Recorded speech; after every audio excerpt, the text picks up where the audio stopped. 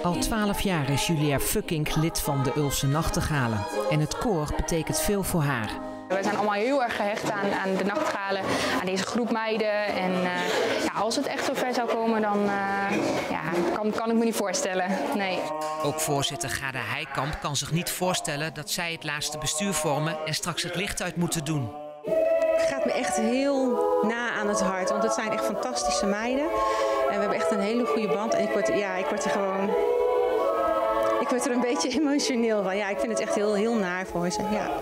Tom Menke van de Partij van de Arbeid in Oude IJsselstreek is fel tegenstander van het subsidiebeleid en vindt dat de gemeente creatiever moet zijn in het zoeken naar financiële middelen.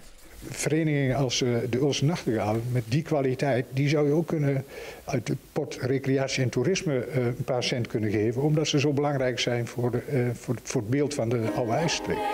Julia weet echt niet wat ze zonder het koor moet als het er straks niet meer zou zijn. Dan zou er uh, echt iets wegvallen, wat ik al uh, nou ja, nu 12 jaar doe.